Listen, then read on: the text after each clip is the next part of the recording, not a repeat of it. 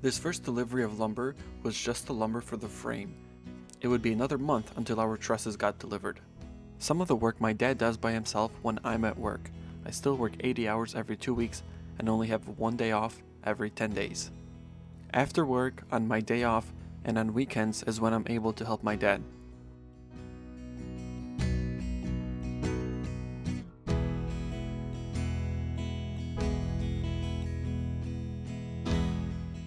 Sometimes the work is just too much for the two of us, so it's very helpful when friends and family come over to help.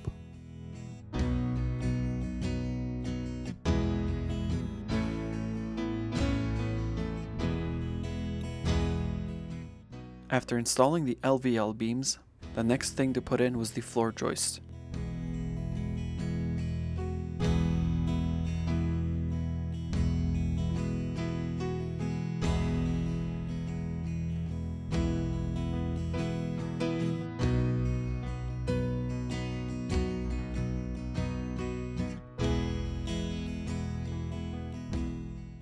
With the floor joists in place, the next thing to install was the OSB subflooring.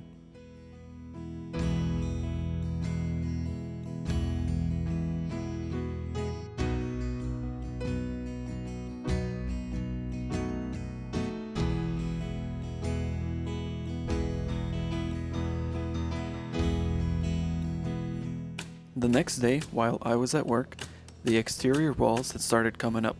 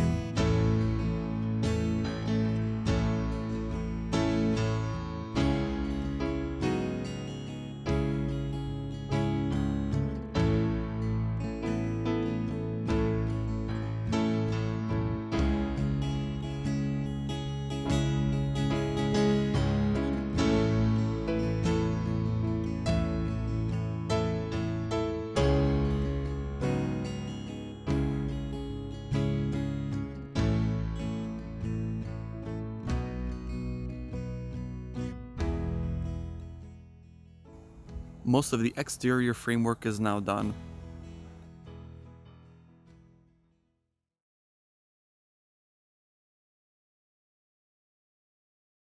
Here's the interior of the basement part of the addition.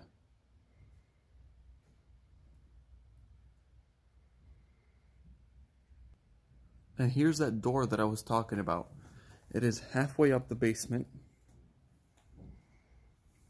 And it sits right here. We are going to insulate it and maybe in a year from now, we're going to build a deck. When we do that, we're going to open this up and you can see there's already a header that's framed in, which will support the entire wall once we cut the door out.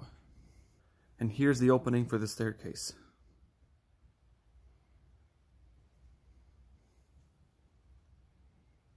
On the outside of this window, the ground is level with the blocks, which is why we were able to have such large windows here. On this side, however, the ground level is also level with the almost the top of this block here, which is why we had to do smaller windows. The stairs down here will go down to a platform that will be at the base of these this door right here. That platform will end where the door ends, and then the stairs will head down into the rest of the basement. Just as a reminder, this wall is 26 feet, and this wall is 29 feet. It's supposed to be raining the entire next week, so the goal of today is to set up a temporary 30 by 50 foot tarp to cover from the addition all the way over the roof of the house. So hopefully when it rains, the rain will just drip off.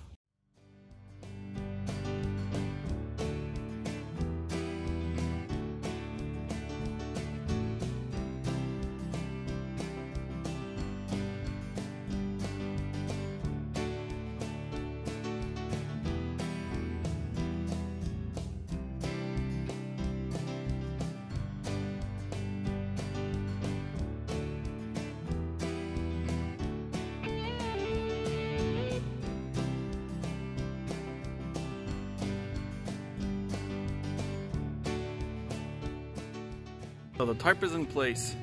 I think it'll hold. Hopefully it doesn't get too windy. If it gets too windy, I think it'll definitely rip out. And I don't want that.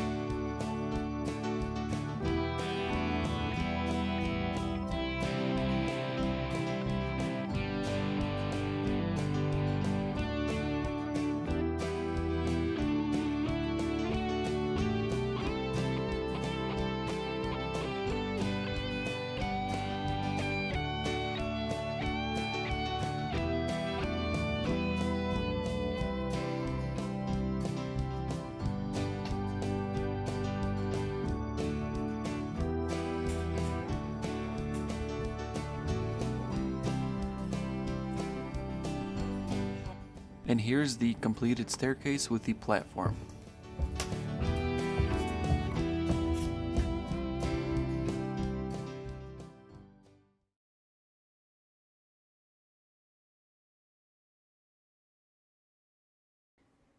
The old steps that used to be in front of the house had an existing foundation, so instead of digging this up and building our own, we decided to utilize it. The first thing we had to do was to lift it up by 4 inches so that when we added three layers of cinder block, it lined up exactly to where we needed it to go. We accomplished this by pouring about 4 inches of concrete. After this concrete hardened, we would then add three layers of cinder block.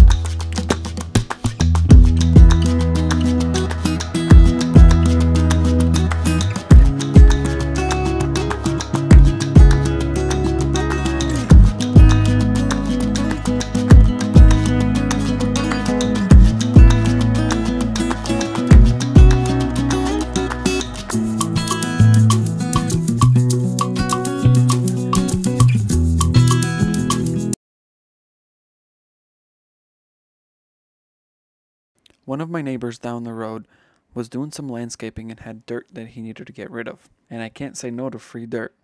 I used my lawnmower relief bag to clear some leaves so that he would have no trouble getting in and out.